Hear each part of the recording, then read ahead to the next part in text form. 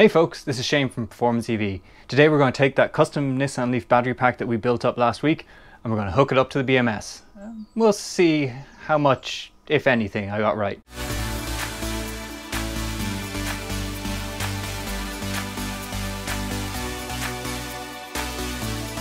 Hey folks, welcome to the channel. Thank you so much for joining us. So for those of you new to this channel, this is my project to put a Nissan Leaf motor into a Porsche 911.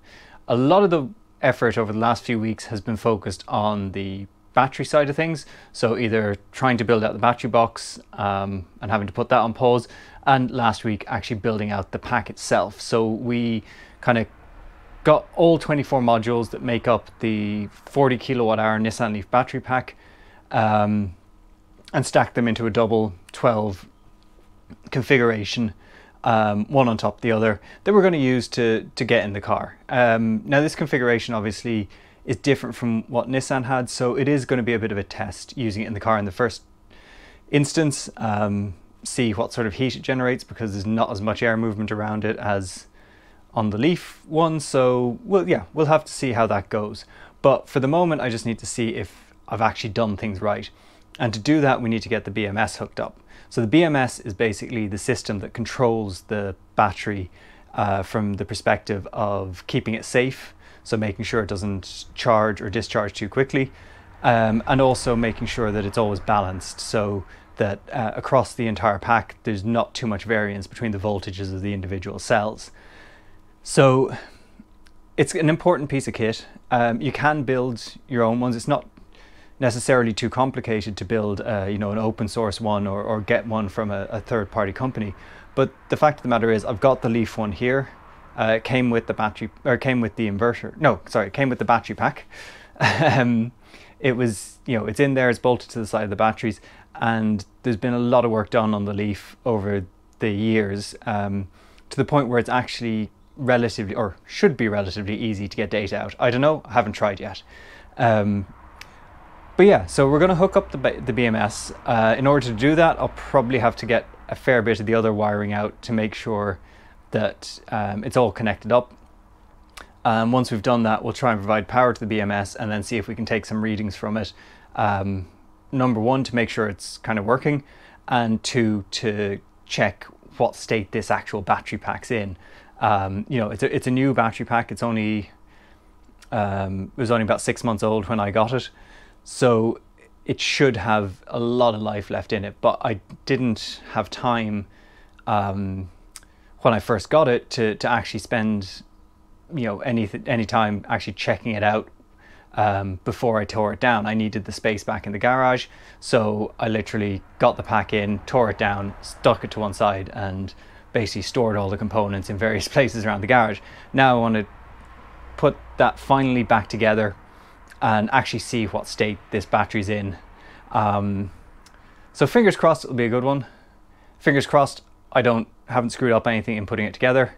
And um, yeah, let's see how this how this works out. So with the physical connections done, now the next prospect is to try and get the uh, battery control module wired in. So in order to do that, I, I was trying to just track things, but it didn't really work.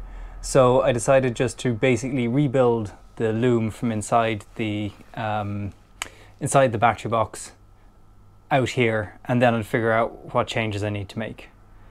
So probably best to take you through it.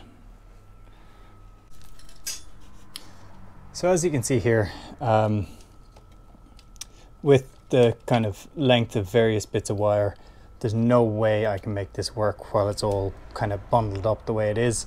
Um, you know, this, this and that aren't going to be able to connect and the, the same on the other side. So need to kind of strip this back now that I know which connector is which. Um, and then we'll kind of just bundle them together more sensibly, uh, whatever makes sense for this, this battery pack that I'm building here. Uh, so let's get to it.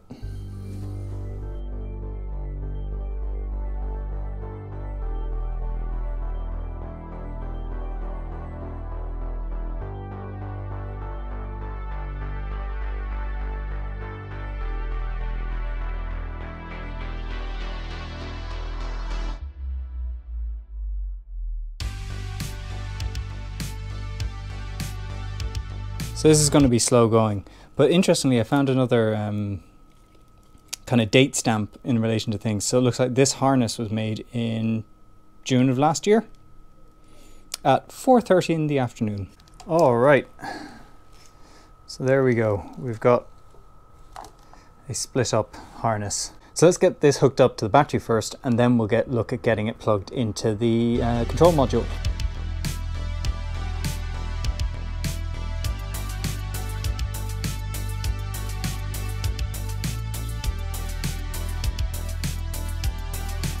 So here we've got all of our BMS wiring up and running. Um, so going from the battery through into the control module and then we've got the uh, kind of signal wires and power and everything that goes out up to the kind of round main contactor thing and I'll show you what we're going to do there.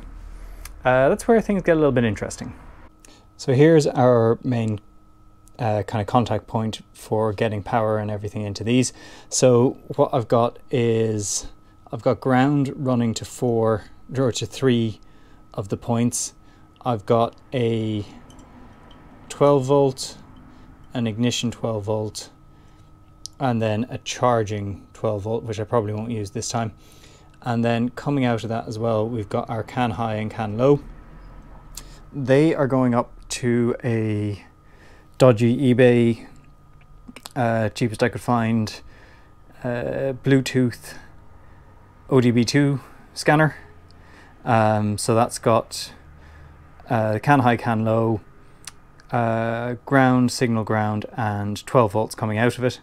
Um, we'll basically just plug things in one at a time and gradually try and build out. So the final piece of this testing puzzle is my uh, phone with an OD or some ODB2 software and LeafSpy on it. So I'm using the ODB2 software just to prove that I can actually find the scanner. Then I'll switch over to LeafSpy and see if I can get info from the BMS. So this little thing's blinking away. And I can see on the scanner here that it's trying to find some sort of signal. It's doing a search. Uh, ODB2 is actually covers a range of different protocols. So it's checking on all of these different kind of bands to see if it's getting any signals, and it's not because I don't have anything switched on. So I'm going to jump out of this onto LeafSpy because I don't know how long the signals from the battery control module will last, uh, given that there'll be no other CAN messages coming into it, and I don't want to miss anything. So we'll build this up. We'll get our ground attached first, then we'll attach 12 volt. See if anything comes through on that and if not I'll attach the ignition. Alright, so I'm not having much luck with this cheapo uh, ODB2 scanner, so so I've heard that LeafSpy is a little bit particular about um, the scanners because some of these cheap ones basically they, they cut corners and, and there are actual bits missing, which means it doesn't always work with some of the protocols. So it that's not going to work basically. I can hear electrical stuff happening inside the um, inside the unit. So what I'm going to do is I want to see is there actually CAN messages being sent out. So what I've got here is a little um, Arduino Mega with a Seeed Studio CAN bus shield on it. And I've got that hooked up high and low from the CAN coming through the, the connector here. So what I'm going to do is I'll put this down to look at the computer while I start sending power through the uh, to the control module. All right, cool. So we've got data flowing through. Um, I'll have a look at this manually, see what I can figure out. I've got no way to interpret it data-wise at the moment, um, but I'm sure we can figure something out uh, while I wait for a new ODB2 scanner to appear.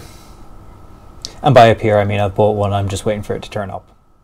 Thanks to the magic of Amazon, I've got a new ODB2 uh, scanner. Um, so this is a Wi-Fi one rather than Bluetooth. That actually isn't relevant, you can get good Bluetooth ones. Um, but apparently this one doesn't have the same kind of corruption or dodgy hacking that's gone into this one. So we're going to try and get this hooked up to LeafSpy and then see what data we get from the um, from the battery.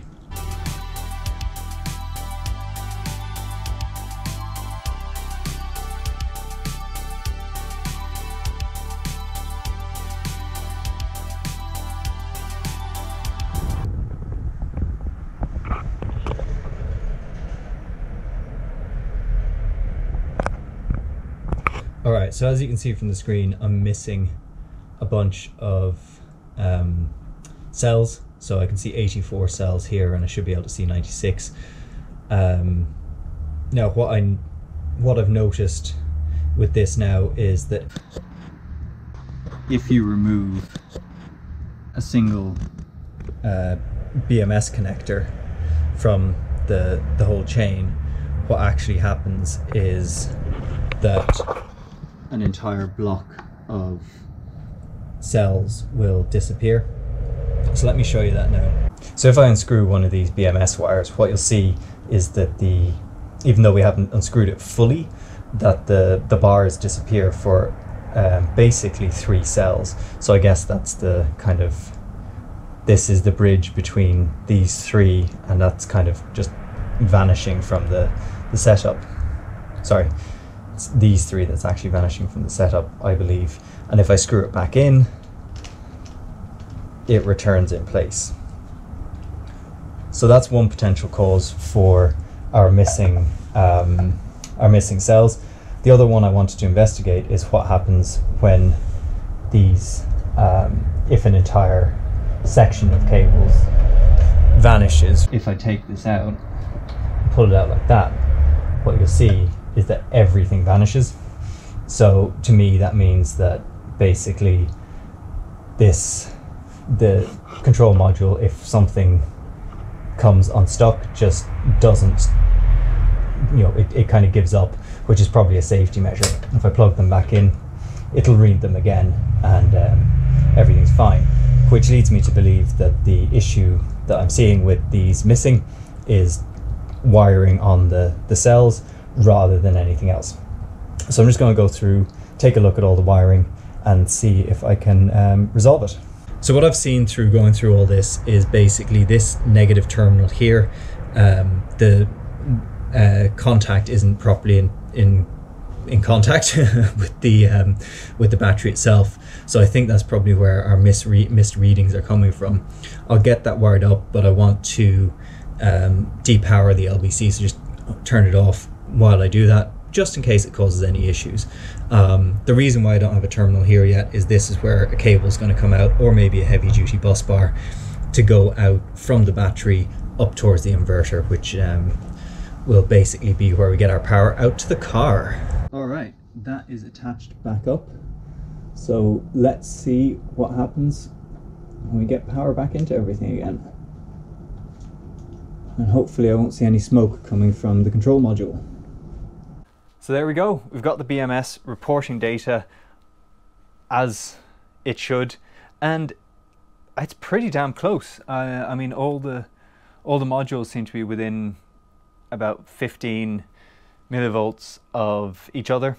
Um, so the BMS should, in theory, take care of balancing and that sort of thing. I think, especially if I charge the battery up to 100% every now and then. Um, that's obviously something I've got to do in the future. But battery is in good condition. It's in really good condition and it's working. So I had a bit of panic the first time um, when I plugged it in, so much so that I knocked the camera over, so there's no real footage of it. But basically, I I plugged in the BMS and the ODB2 scanner, and all of a sudden the um, this had stopped working and was no longer reporting any data. And I thought that maybe I'd gotten the wiring wrong and it screwed it up, and it was all going terrible. but then I realized that uh, I just I knocked one of the CAN wires out from the uh, the ODB2 thing. So lesson learned. I need a proper way to wire all this up together because this ain't gonna be feasible in the long run. Um, but yeah, it's it's there. It's working. Uh, battery's got power, so I'll tidy up the wiring.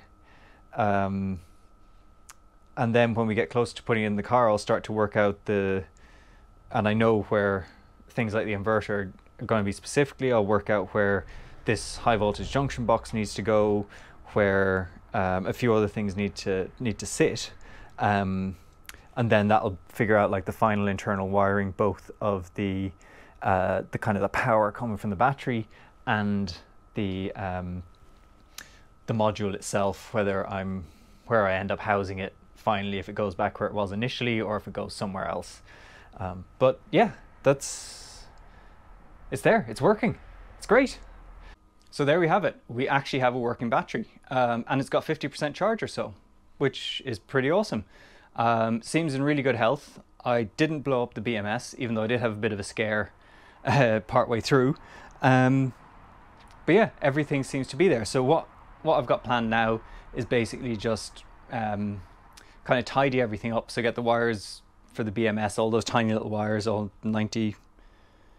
96 of them, something like that, um, wired up properly so they're actually routed in a sensible manner. I'll then kind of wind them up in electrical tape, make sure they're really neat, um, figure out where I'm going to put the BMS. So I'll basically take that wiring apart as well, get it nice and neat, and do the same thing, and then put this to one side. Uh, so this is ready to go basically now to be put in the car, but I want to get the battery box in first. I've got finally gotten the metal that I was waiting for, so I'll be able to build out um, that supporting frame, supporting slash mounting frame that I had envisaged, um, and get it attached to the base of the battery box, and then we'll build the rest of the box around that. Test fit it in the Leaf in the Porsche, um, take it back out, get all the mounts in place, and then put this pack inside it before installing it properly. So lots of back and forth due out, but it was really cool to see that you know this this pack does actually work. It's got the power that I need, and it's ready to go. Um, so I hope you've enjoyed this little video. Um, if you have and you're not already subscribed, please consider subscribing. If you've got any comments, please drop them in the comment section. I do try and respond to as many of them as I can, and I really appreciate them. Um, but yeah, till next time, thanks for joining us, and we'll see you soon.